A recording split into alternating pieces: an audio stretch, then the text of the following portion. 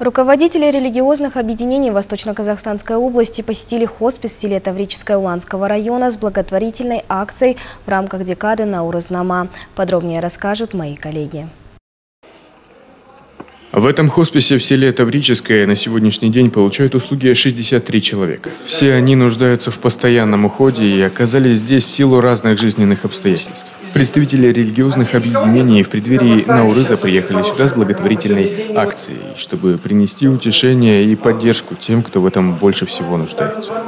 По э, регламенту Наурзама, который утвердил наш президент Касым Жамарт Кемелевич, сегодня э, день благотворительности. Э, в священный месяц Рамазан мы тоже делаем благотворительность, потому что Аллах Субхану Тааля в Коране говорит, что все люди э, соревновались, делая добро. Я желаю, что в нашем Казахстане никто не оказался в доме престарелых, э, в хосписе и э, доме для маленьких детей. Поэтому что в Казахстане всегда была радость и достояние и благоденствие. Гости привезли с собой подарки, вещи и предметы, необходимые в быту, приготовленные угощения и фрукты для пациентов хосписа. В этот хоспис мы приезжаем уже второй раз. Я думаю, начало мы положили в 2019 году, когда приезжали, оказывали помощь. И пандемия помешала работать дальше, но в этом году решили возобновить работу а, для того, чтобы приносить Божью любовь в ощутимой форме людям, которые в этом нуждаются. Думаю, в следующий раз а, приедем и уже более точечно посмотрим, в чем они нуждаются, чтобы иметь возможность оказать эту помощь. Такое мероприятие напомнило прежде всего о важности сочувствия, поддержки и милосердия к ближним. Акция стала символом единения между представителями разных конфессий, которые вместе пришли помочь нуждающимся.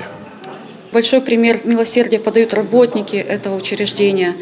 И все, кто здесь лежит, да, лечится, проходит лечение, они очень сильно нуждаются, а, даже больше в душевной теплоте. Вот, поэтому все руководители религиозных объединений сегодня приехали, чтобы подарить не только подарки, но и свои молитвы, свои благословения всем а, работникам и а, так скажем, пациентам этого хосписа. Как отмечают представители религиозных объединений, это не первая и не последняя благотворительная акция в учреждении. В будущем они планируют оказать и другую помощь.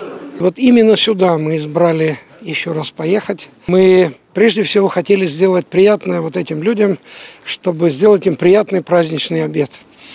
А, не каждый день, может, у них такое, ну и фруктов привезли, и десерта.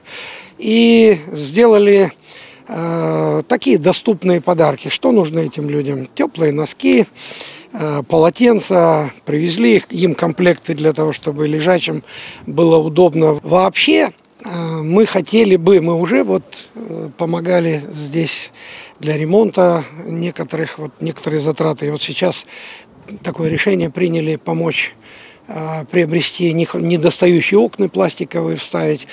Директор учреждения Ербулат Баиров выразил благодарность гостям за визиты, проявленные внимание и поддержку к постояльцам хосписа. Алексей Сафонов, Александр Каримов, Алтай Акпарат.